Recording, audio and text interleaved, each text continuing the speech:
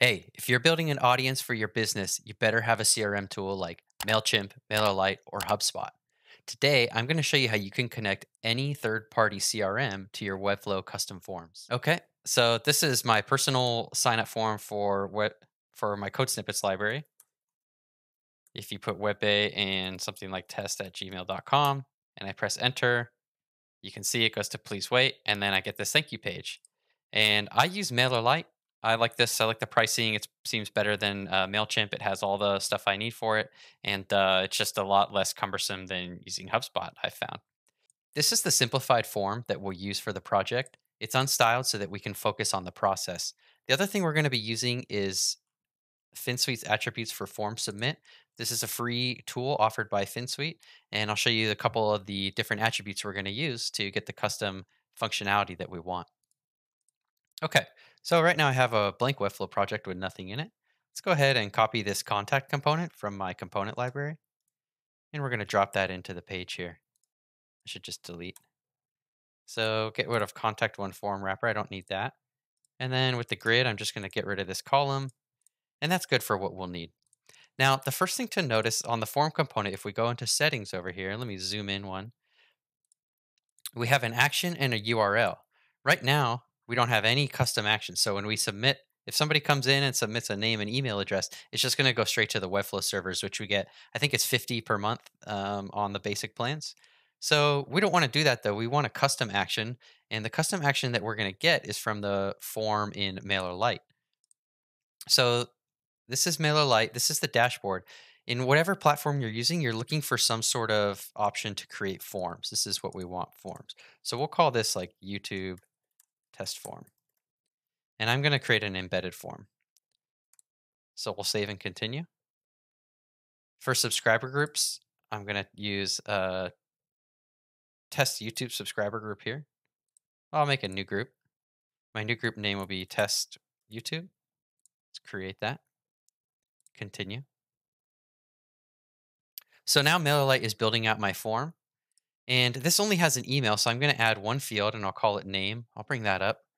And we don't need to change anything here, but notice the field input type. Uh, the email, I think, defaults to email, and they don't let you actually even remove that one. So we'll go ahead and save that and say done editing.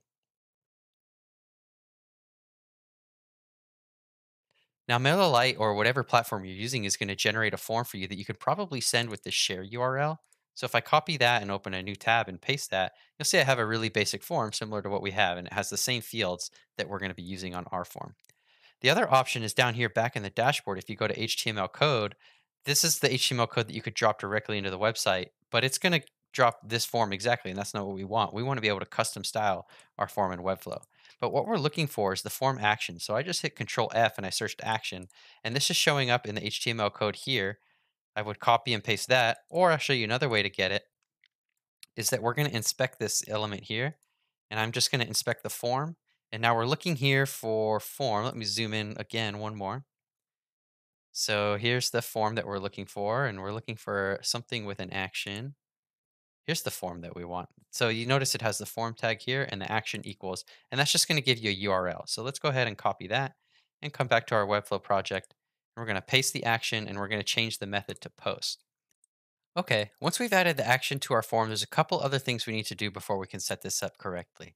First, we're going to go back to the form here and we're going to get the names from the name and the email fields. Each of these have a specific name that we can see here in our um, Chrome inspector.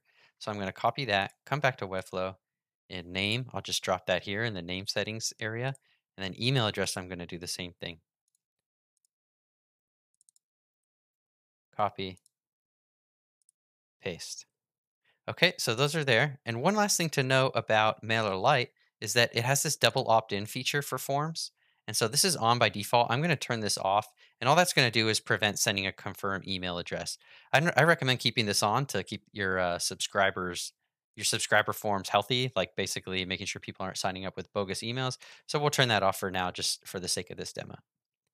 And back in Webflow, I'm going to publish.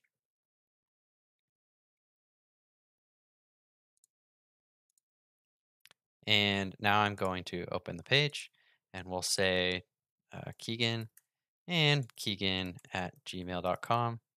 Well, let's say test at gmail.com. I don't know who Keegan at gmail.com is.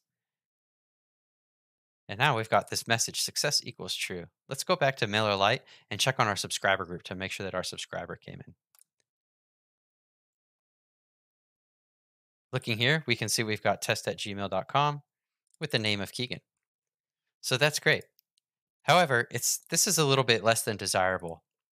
And what happens is when we provide a custom form action in Webflow, it overrides the web webflow has some javascript that overrides normal form submission and that goes away when we provide a custom form action so it's redirecting to the success page on MailerLite now we want to keep our users on our website and unfortunately even adding something like you know redirect to slash thanks and here I've built a simple thank you page this won't work because this code won't get run so if i publish we would expect it to redirect us to thanks but Webflow doesn't send us any note or anything. Uh, here, let me just go through here that that's happening. Keegan2 and test2 at gmail.com. We get still get the same page. And test2 is going to show up within our subscriber list here. So we have test2.com, but we still want to customize that. And for this, we're going to use the Finsweet form submit attributes. So first step is to copy this script into our file. So let's go here. On home, I'm going to go into settings. And right up here, I've got it pasted in. So that's great. So we'll go ahead and close that. And the second step is to implement in Webflow. First thing, we do have to do this this one here. Form. I want this form block to get the custom action. So must be added to either form block or form element. So I'll go ahead and copy this. And I need to give it a value of form back in Webflow. I'm in my form. I'm going to get a custom attribute here. Just paste that, and this is form. And the one we want is we want this enhance, and this enhance is what lets us um, reuse JavaScript to actually submit the form data. And we're going to reuse that JavaScript and then provide a redirect. So if we look, we see enhance equals true does a custom JavaScript form selection. Data is sent to the form action with JavaScript. The user still sees everything working natively, though in the background it is not. So let's just get the like a native um, kind of behavior working first. And that's just true.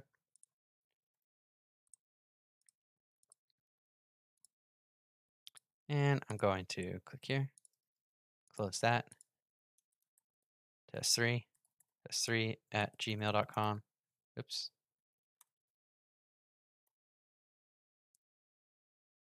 Okay, so now we have the native Webflow. Um,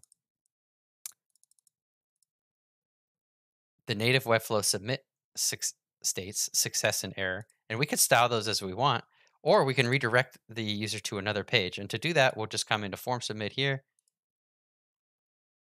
and we'll go to redirect. And we're going to take this fs form submit redirect, we're going to set it to true, and then we're also going to set the redirect URL. True. And come back here. Grab that. Let's say thanks. Now let's publish. Refresh. Test 4. Test 4 at gmail.com. Please wait. And it redirects to our thank you page. And let's go back to MailerLite and just make sure we got all of our subscribers in there. Yep, we got test test 2, test three, and test four. So that's it. If you found this video helpful, please like and subscribe. That helps me a lot. And I'll catch you in the next one. Bye bye. Yeah.